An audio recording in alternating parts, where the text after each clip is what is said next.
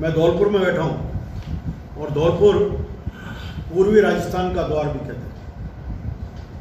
ये पत्थरों की धरती है, जो सारे देश में आकर पत्थर जाता है और लोगों के अपने भवनों को वो गुंजायमान करने काम करते हैं, उसको आलिशान करने काम करते यहाँ के लोग मेहनत करते हैं और मेहनत के आधार पर अपना पैसा कमा करके जीवन यापन करते हैं, स्वाभिमान से जीते हैं और दूसरे की इज़्ज़त को देखते भी हैं और अपनी इज़्ज़त बचाने का काम करते हैं। दुर्भाग्य से पिछले ढाई साल में कांग्रेस की सरकार आने के बाद धौलपुर में जिस प्रकार से पुलिस तंत्र का पूरी तरह से राजनीतिकरण राजस्थान में कांग्रेस अशोक गहलोत की सरकार ने किया है, वो कई बार लगता है कि शायद कांग्रेस इस धौलपुर को बंगाल बनाने का प्रयास कर रही है।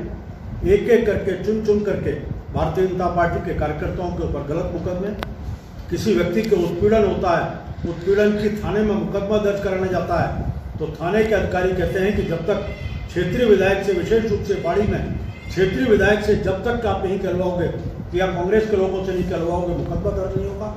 बहन बेटियों के साथ दुष्कर्म की घटनाएँ हो रही हैं। जो शिकायत करने जाता है, उसके ऊपर और उत्पीड़न किया जाता है।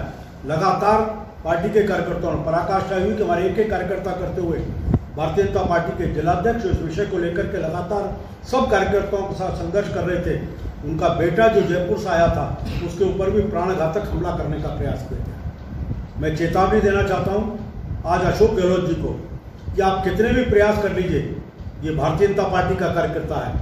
आपके उस आपातकाल के 19 महीने के तांडव में भी इस भारतीय जनता पार्टी, भारतीय जनसंघ के कार्यकर्ता को कांग्रेस तोड़ नहीं पाई थी।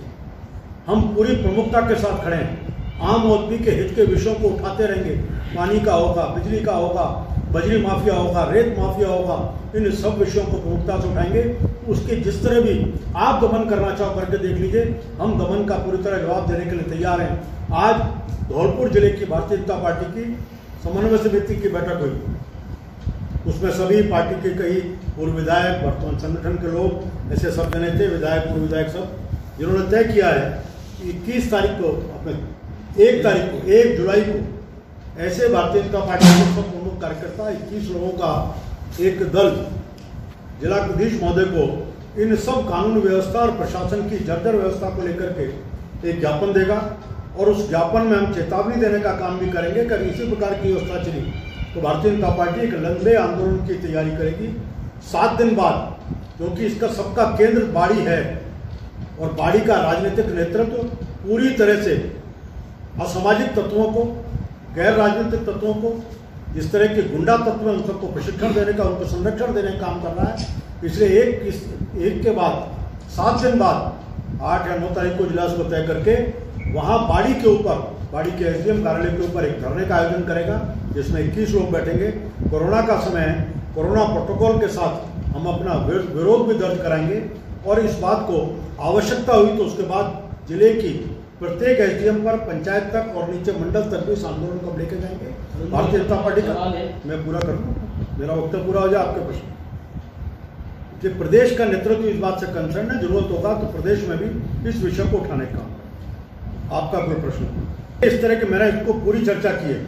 आप जिनकी कह रहे हैं, मैंने कहा कि वो अपने विधानसभा क्षेत्र में एक तरह से मुख्यमंत्री की तरह एक्ट कर रहे हैं। वैसे तो राजस्थान में आज की तारीख में एक मुख्यमंत्री नहीं है।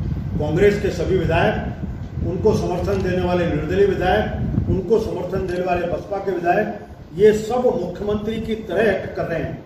थाने और चौकी, पटवारी और तहसीलदार एसडीएम के ऑफ़िस इस बार नीलाम हो रहे हैं, जिनको सत्ताधीश का विधायक चाहता है उसको लगाने के और इसी कारण से प्रशासन और पुलिस निरंकुश होकर के काम कर रहे हैं।